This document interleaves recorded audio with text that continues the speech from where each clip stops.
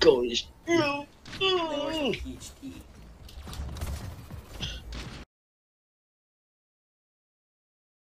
Or stroke play.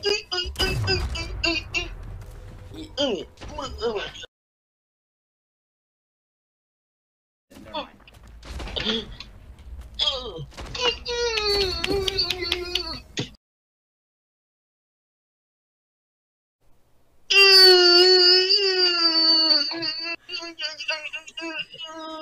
oh my god.